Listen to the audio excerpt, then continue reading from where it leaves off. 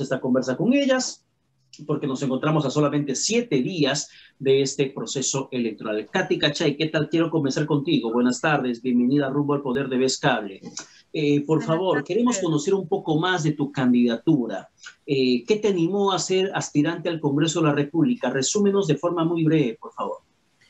Sí, buenas tardes, Pedro. Buenas tardes, Celi. Muchas gracias por este espacio. ¿Qué me impulsa a estar en, temas de política? En realidad mi padre, mi padre siempre ha querido ver a su hija en política y la verdad que con mucho esfuerzo estoy aceptando el sueño que él tiene, mm, de alguna forma u otra retribuyendo lo que él ha hecho por mí, por, porque gracias a él y a mi madre soy profesional. Básicamente por eso es que acepto estar en política y con Rafael López Aliaga porque me gusta eh, sus propuestas, me gustan sus ideales y lo que persigue el Partido Renovación Popular. Hacerle Rabasa también de forma brevísima, por favor, lo que tenemos a meterte de lleno en esta campaña política para ser congresista. Buenas tardes, Pedro. Buenas tardes, Katy, a todos los que nos están escuchando. Felices Pascuas de Resurrección. A mí, yo tengo 15 años trabajando en el Estado, de los cuales cerca de 7 años he sido asesor en el Parlamento. Y al igual que muchos que me están escuchando, estaba cansada de la manera de hacer política en el país. Y he encontrado la oportunidad hoy con George Forsyth, el Partido de las Campanas, que busca un cambio de la manera de hacer política en el país, porque queremos una política que esté en las calles, con el pueblo, trabajando precisamente para el poblador y no como hemos estado viendo hasta ahora, de espaldas al pueblo. Eso tengo la capacidad, el profesionalismo, no tengo antecedentes y dije, me voy a dar la oportunidad de postular al Congreso de la República porque quiero llegar a ser un Congreso eficiente y que tú puedas decir después de este 11 de abril, sí, esa congresista, la 10 de Victoria Nacional, me representa. Ahora, para que puedan representar a la población necesitan votos y los votos se tienen que captar en estos momentos. Katy Cachay, tus principales propuestas como número 6 de Renovación Popular. Sí, mira, Pedro, lo que queremos hacer nosotros es eliminar todo trámite burocrático en general en todas las instituciones que no sirven para nada y que solamente generan retroceso y además involucra lo que es la corrupción. Vamos a iniciar por el tema de que las constituciones de empresas sean gratuitas. Vamos a proponer que registros públicos tengan un formato preestablecido de minuta que se esté acorde evidentemente con la Ley General de Sociedades para que el microempresario que al día de hoy quiere emprender pueda inscribir directamente su empresa de manera gratuita y ya no esté gastando en minutas, escrituras públicas y además en pagos a registros públicos. Tenemos 80% de personas en lo que es informalidad, así que tenemos que darles las manos. Todo que sea gratuito para que encuentren lo que es la formalidad. Además, dos años de tributación cero para que durante estos dos años aprendan ellos a ser contribuyentes, la SUNAT los eduque en lo que es contribuir y luego no se cometan los tantos abusos que vemos cuando la SUNAT cierra diferentes negocios que son pequeños.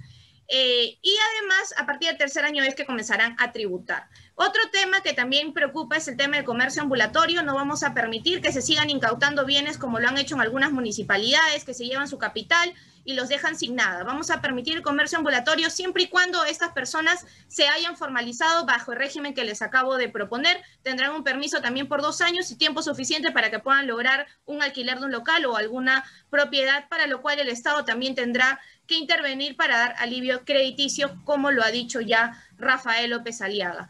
Además, proponemos un fondo de pensiones para los taxistas y mototaxistas e incluso los colectiveros que al día de hoy no son aportantes de FP ni de ONP, pero al momento de culminar sus oficios, pues comienzan a generarse los problemas porque pueden ser incluso una carga para su familia. Y además proponemos un régimen interesante para los animales, en la medida que la ley actual que tenemos tiene muchas falencias, hay que modificarla para que el tema del maltrato animal sea realmente sancionado y además tengamos una tenencia responsable adecuada con la implantación de microchips. Bien, eh, Aceli Rabasa, también lo digo, por favor, queremos conocer cuáles son tus principales propuestas que pretendes llevar al Congreso de la República.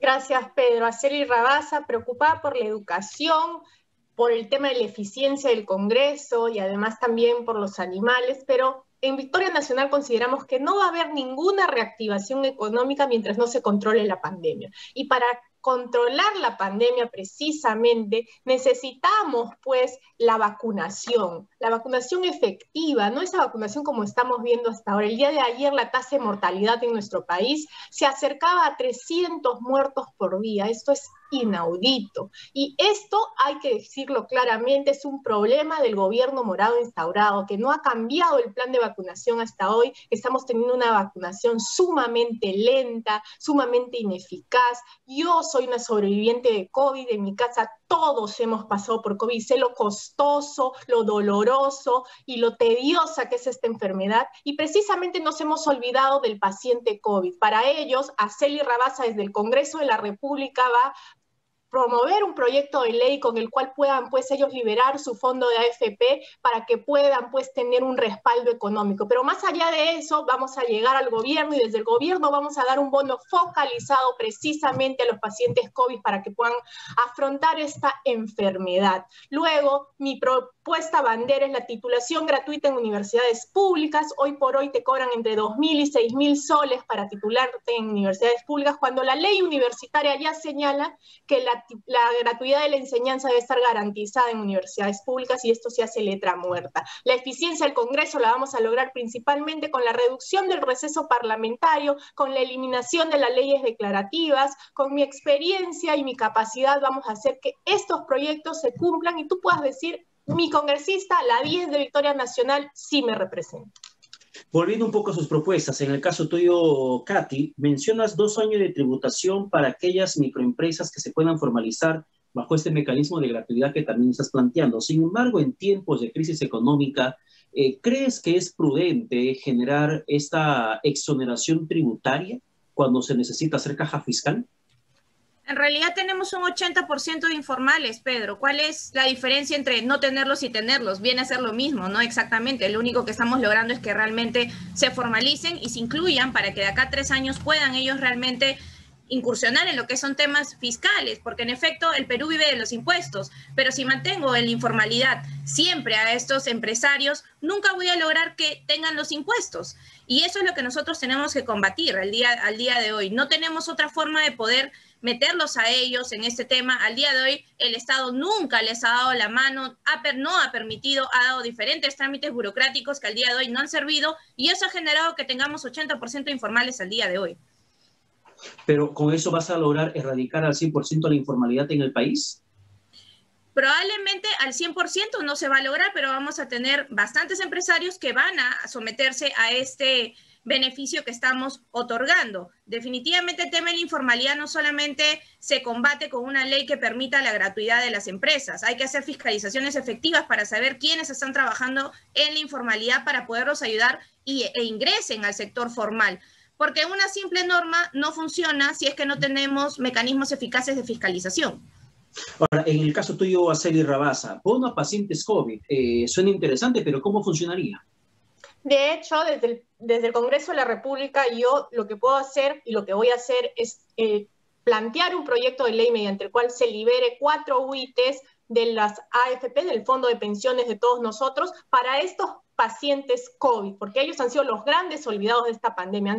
Han, sacado bonos para gente que se ha quedado sin trabajo, para gente y pacientes oncológicos, pero los pacientes COVID se han olvidado. Definitivamente no podemos este, permitir que esto siga pasando. La enfermedad es cara, es costosa. Yo he estado, como les digo, recién saliendo del proceso COVID en mi casa, desde mi abuela de 85 años hasta mi hija de dos años hemos pasado todos por COVID y esto también es imprudencia del gobierno porque si ellos hubieran hecho una vacunación eficaz, por ejemplo, mi abuela el día de hoy ya debería estar vacunada, tiene 85 años y no está vacunada y precisamente por eso también es que ha caído en esta enfermedad. El proceso de vacunación es fundamental y necesitamos acelerarlo. No busquemos ya más ideologías ni sesgos políticos, necesitamos que precisamente todos los peruanos nos unamos, público, privado, para lograr esta eficacia casi en la vacunación y desde Victoria Nacional, el Partido de las Campanas, proponemos una vacunación eficaz al 31 de diciembre, todos los peruanos vacunados. Una pregunta brevísima con respuesta breve también, por favor, Celi. ¿Este bono COVID que planteas para pacientes COVID es eh, sobre la base de los aportes AFP, ONP o tendría que salir del Tesoro Público?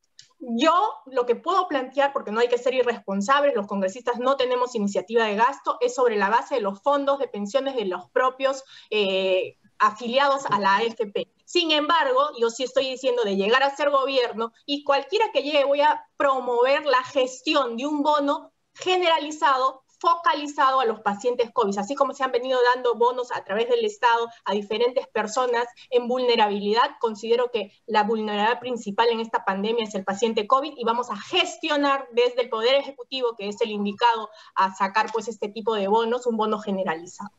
Perfecto. Katy Cachay, el tiempo nos ha ganado. Por favor, reitera tu candidatura en estos siete días que nos quedan de aquí hasta el domingo para elegir congresistas y que probablemente una de las dos o quizá las dos puedan entrar al Parlamento. Sí, muchas gracias. Cuento con ustedes, amigos. Soy el número 6 de Renovación Popular, Katy Cachay, abogada joven, al igual que Aceli, y al igual que las dos madres también.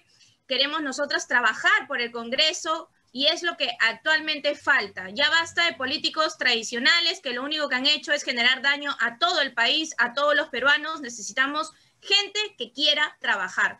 Eso es lo que yo les prometo, me comprometo a trabajar por ustedes, a poder sacar adelante los proyectos que tenemos para los más necesitados, microempresarios, ambulantes, taxistas, ollas comunes, vasos de leches, en fin, con toda la gente que hemos podido reunirnos, colectiveros, mototaxistas. Por ellos vamos a trabajar, vamos a generar un mejor régimen, un mejor régimen legal para ellos y por eso no te olvides en esas elecciones marcar la R de Renovación Popular y escribir el número 6. Aceli Rabasa, lo mismo contigo, por favor. Retira tu gracias, Pedro. Gracias, Katy. Gracias a los que nos están escuchando, todo Lima Este, todo, todo Lima en general. Yo soy Aceli Rabasa, abogada de profesión. No voy a aprender ni, ni tampoco voy a improvisar, al contrario, llego con propuestas claras. Este 11 de abril ya solo faltan siete días nada más. Apuesta por el cambio, pero por el cambio responsable y seguro que representa victoria nacional. Dejémonos de izquierdas radicales y derechas ultraconservadoras que lo único que van a llevar a nuestro país es a seguir polarizando y a tener una inestabilidad política que no nos va a permitir salir de esta crisis. Necesitamos estabilidad política, jurídica y por eso este 11 marca las campañas campanas de Victoria Nacional y escribe el número 10 de Aceli Rabasa. Muchísimas gracias, Aceli Rabasa. También Katy Cachay. Éxitos en esos días restantes de la campaña electoral. Vamos a la